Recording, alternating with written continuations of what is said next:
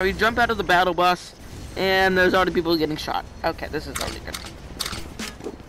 Oh, shit. What? I lost my gun! This is, I don't win this game right here, so you gotta get this jug, and you gotta...